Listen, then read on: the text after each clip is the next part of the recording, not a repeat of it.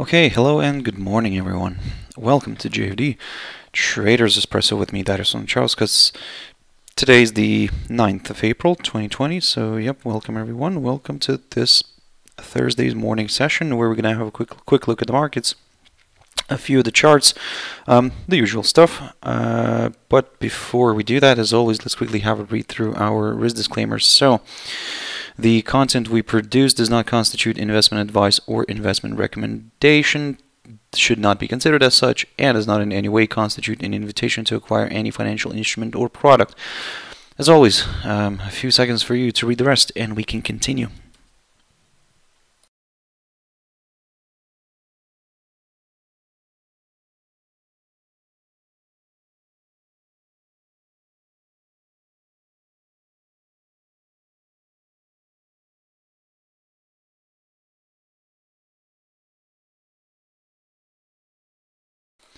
Okay, so also just before we uh, jump in into the charts, a uh, quick mentioning of our JFD YouTube channel to which you can always subscribe to in order not to miss any of our upcoming videos. And of course our JFD Bank website and specifically our JFD research page which we update as well on a daily basis. So yep, feel free to visit us here on jfdbank.com and click on the research tab right there. Now then, um, just a quick update on what's happening here globally in terms of the coronavirus. Let me just quickly refresh refresh this page. Um, so, of course, the number continues to grow. We're getting closer to now uh, one and a half uh, million of total recorded infections. U.S. managed to overcome the 400,000 barrier. Um, and for now, Italy and Spain are leading the way in terms of uh, total deaths. Um, so, um, and as we can see, UK is kind of uh, in in fourth place in terms of that. Now then, um, of course, the situation is not getting better here for now, maybe just slightly, but still it's uh, it's on the same uh, route higher. Um, so for now, there's it seems that there's no stopping in the um, in the amount of infections, and uh, well, Europe and, and the U.S. are leading are leading that way for now. So in terms of the markets, now uh, the markets are actually um, feeling okayish for now, I would say. Um, now, looking at the Nikkei here, and uh, uh, Nikkei is currently trading slightly in the red. Uh, we still have around half an hour to go. I mean, uh, the time I'm doing this recording here, so we still have about half an hour until the market will close. Um, so probably when you're going to see this video, the, uh, the, Nikkei will be closed already, but um, at the moment here, it is still open and it's currently running in slight negative zone. Um, so uh, the from the technical side, uh, looking at this daily chart, you can see that um, after kind of uh, reversing here from uh, this little territory right here, from the uh, 17,646 territory, it kind of uh, it kind of traveled higher and is now very close to the near near the highs of the near the high of the 25th of March, which is around the 19,564 um, zone. So I've previously, when I was covering Nikkei, I've talked about this level, and this is still the level for us to watch after after a break of which we could consider some uh, some more upside at least a little bit not much uh, but probably only only up until here somewhere. So again, guys, for now, uh, yep, be very careful, be very cautious. Um, keep your eyes on some of these obstacles. Of course, uh, the psychological 20,000 zone somewhere around here, uh, which could come into play and could, in a way, stall the uh, the price temporarily. But if the 20,000 level, if the 20,000 level is seen just as just as a simple obstacle on on the way higher uh, for the bulls, then yep, the next target to consider is around the 20,834 territory, roughly around here, marked by the low of the 2nd of March. Um, around here, we do have the 100 EMA shown as the green line here, and the 200 EMA uh, uh, shown as the black line on the daily charts which could in a way provide some uh, a bit of additional resistance. So again guys for now all long story short all eyes are on this barrier. If we do get a nice uh, break above this maybe not today maybe tomorrow uh, then yes we could aim for higher levels. Um, in terms of the downside pretty straightforward. Um, well actually not very straightforward. We are looking at this level here uh, the lowest point of 2018. Um, a drop below this and a drop below the 21 day EMA here could do the trick here for more sellers, and we could see this one sliding, um, sliding back down here uh, towards the low um, towards the low of the 3rd of April uh, or I should say the current lowest point of April near the 17,646 level that I've mentioned previously.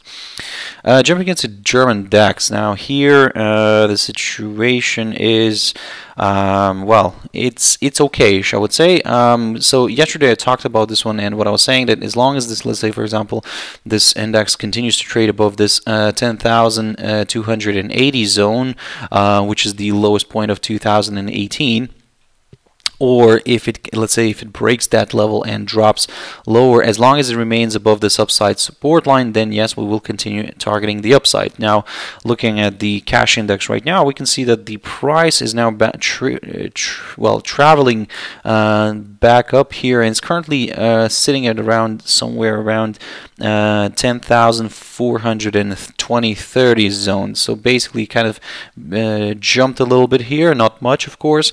Um, of course the the main obstacle to watch out for is this high the high of this week uh, the current high of this week near the 10,590 but if that gets broken then yes it could travel further north. For now looking at the cash index we are a little bit more bullish than bearish. However be very careful near this obstacle near the current highest point of this week. And but if that gets broken then yep uh, higher levels could be met. In terms of the downside now the further we move uh, to the right probably now previously I talked about this 9141 zone. Now of course this level still remains uh, of, of, huge importance to us. Um, however uh, given that we are shifting now a little bit higher uh, we can actually say that if the um, if the, the, the index drops below that, uh, breaks this upside line and, and falls below the uh, psychological 10,000 territory, now this is where um, it could become quite interesting for the sellers again. Of course, don't get me wrong, this little territory here that I've mentioned previously, I was talking about this one as more of a neutral territory. However, if we do get a drop below the 10,000 zone, then, well, we could consider a bit of a slide here towards this area here, this 9,141. Um, so basically, this could still be a nice decent move here. Um, initially, we will target the 9,461 zone, which previously acted as a fantastic area of support here. Um, and then after that we will take it lower. However like I said uh, given that it managed to already move a little bit further north uh, we can now say that this level here could become that level to watch. The 10,000 zone could become that level to watch um, in order uh, to kind of aim lower levels to, uh, for lower levels if we get a break below it. Um, so that's why guys for now be very careful. Watch watch your levels and let's see how this is going to play out. Uh, FTSE 100 now here, uh, of course, the same situation remains. Uh, as I've talked about this yesterday, I mean, uh, what I was saying that we need to see a nice good break above the 5,815 16 zone before we could uh, consider a uh, uh, some higher levels. However, you can see that the the index is currently stuck here.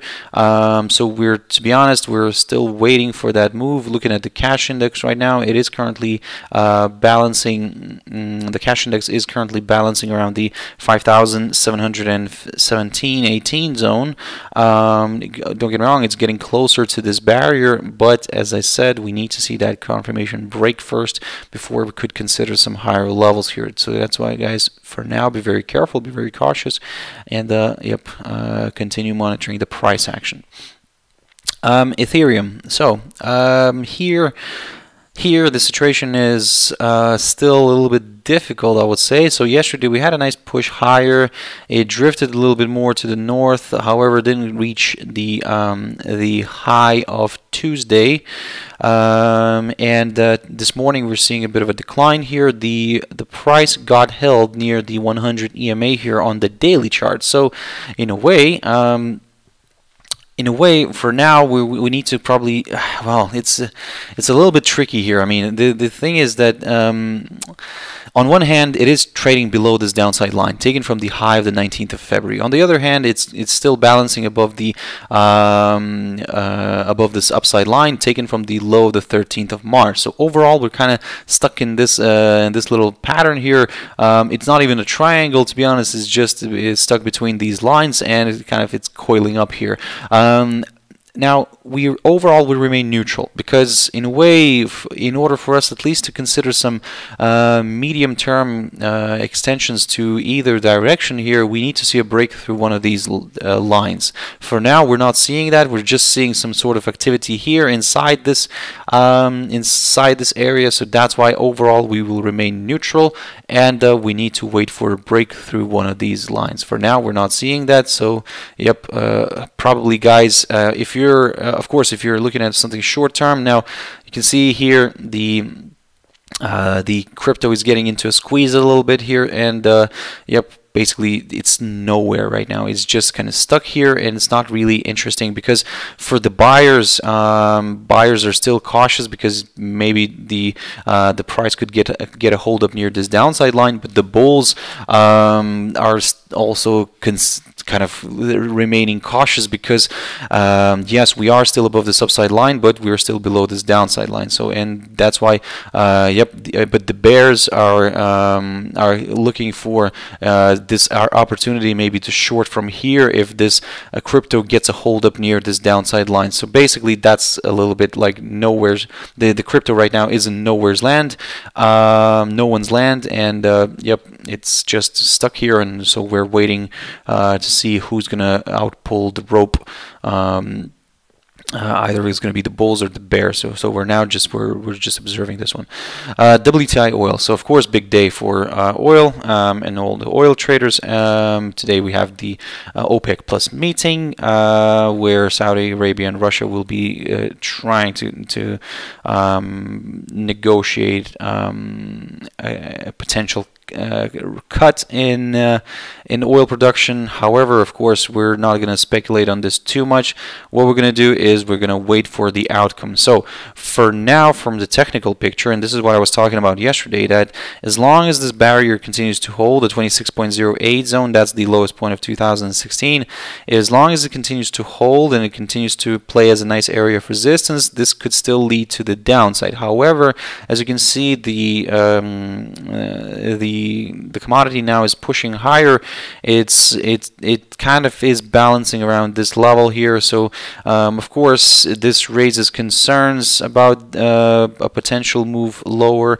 So in a way, what we're going to do here is how we're going to look at this is um, we're going to keep an eye on the high of uh, last week, which is roughly around the 29.11 zone. A nice good push above this would confirm a forthcoming higher high, and we could start targeting higher levels. In terms of the downside, we need to see probably drop below the current low of this week, which is around the 23.58 8 zone roughly around here guys.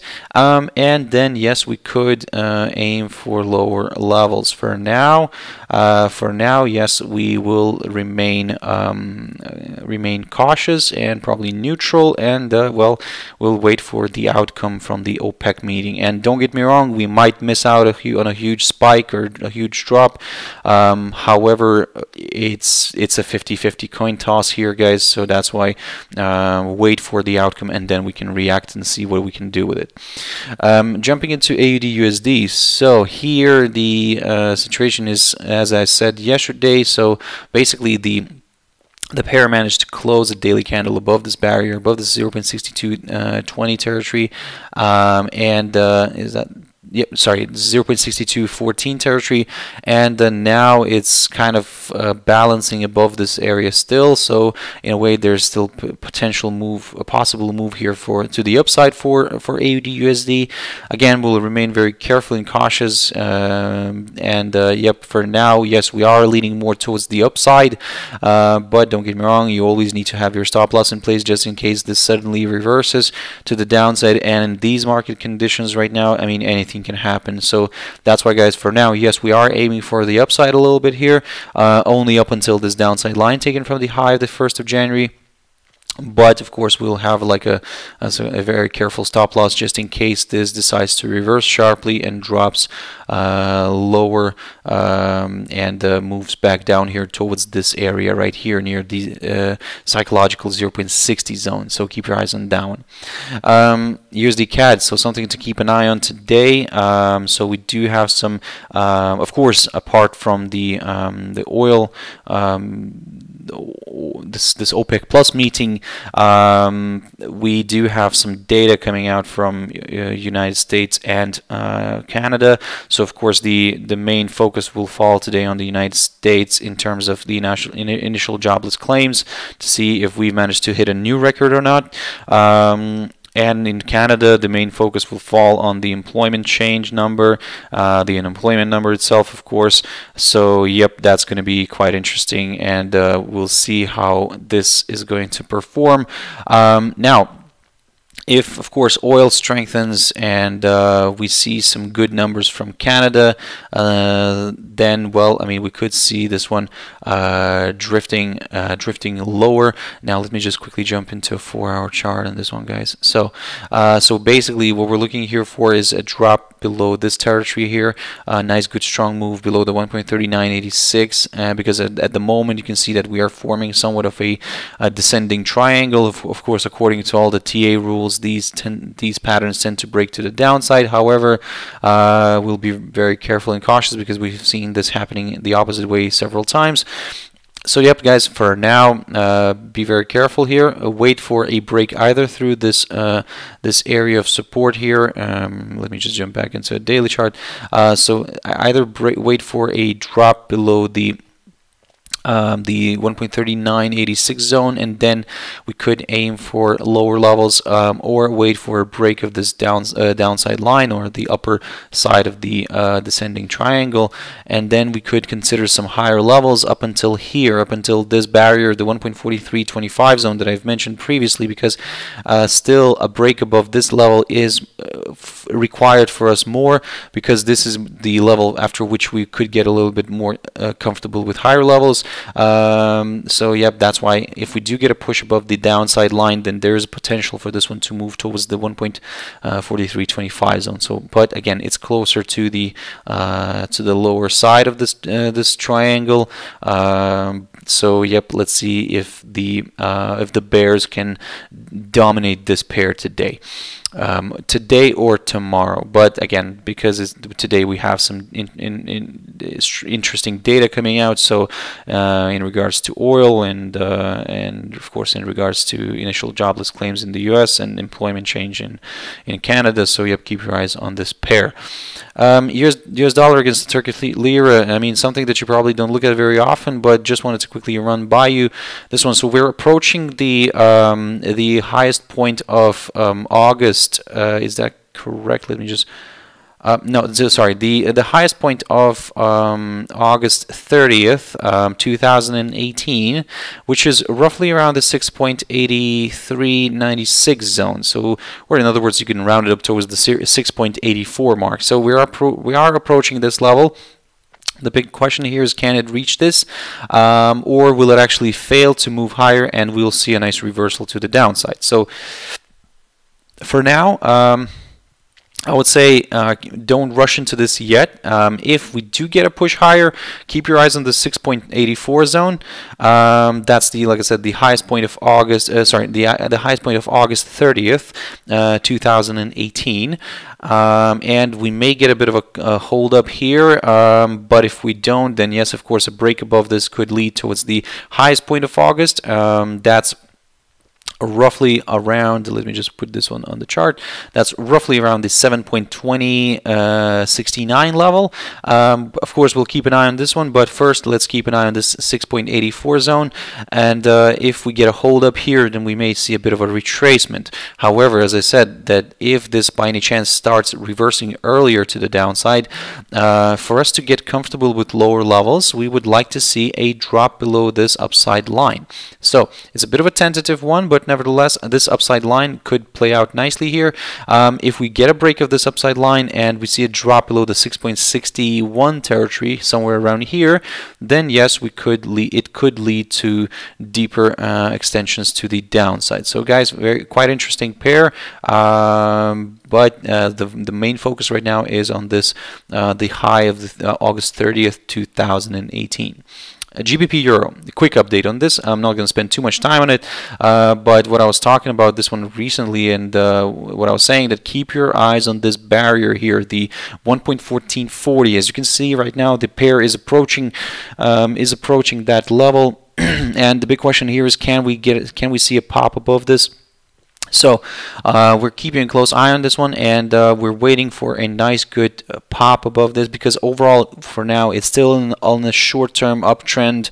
Um, it is above the 200 EMA, oh, actually it's above all of its EMAs here on the 4-hour chart. So basically all this is still looking quite positive. However, just to kind of complete that positivity, we need this nice good push above the 1.1440. This would confirm a forthcoming higher high and yep, uh, higher levels could be met. Um, in terms of the downside, the same idea remains as previous. Uh, we need to see a drop below the 1.1305 zone in order to kind of consider some deeper extensions uh, to the downside. So keep your eyes on that one. And finally, Euro USD. So here, not much has changed, to be honest, and this is what I talked about yesterday. Basically, all this territory here will be somewhat of a neutral one for us, and you can see that the pair, the pair right now is just kind of stuck here and uh, not doing anything. Um, we need to see a push above the uh, high of this week, the current high of this week, which is around the 1.0926 zone, roughly around there. Yep, um, and then we could at least start considering some higher levels, but um, for now, guys, uh, for now, yes, uh, be very careful here, uh, be very cautious, and uh, keep your eyes on this barrier. Um, in case this bear decides to drift a little bit lower, Still, the more comfortable level for us, after which we could consider the downside, is the 1.0777 zone. So, as I've mentioned already many times in my previous videos about this level, so yep, that's the lowest point of February as well. Then we had a nice hold up here last week, so that's why this area becomes a quite important one to watch. And um, yep, wait for a drop below this level, and then this would confirm a forthcoming lower low, and uh, yep, uh, slightly deeper extensions to the downside could be possible. So, guys, I hope you found it useful, and uh, thank you very much for watching and listening. So if you want to uh, join me, or should I say, if you want to catch my video later on, uh, my my traders tea time uh, around around 13:15 GMT time. Um, so yep, guys, I hope you found this useful, and I really appreciate your all your views and all your likes and um, and all your comments, guys. Um, so I really, like I said, really appreciate that. Um, kind of gives me a little boost, more a moral boost, a good moral boost. Um, but yeah, thank you very much, guys, for all your support. Um, so yeah, I'll see you later, or shall I say, catch my video later, third around 13:15 GMT time, traders tea time. Um, so yeah, bye bye.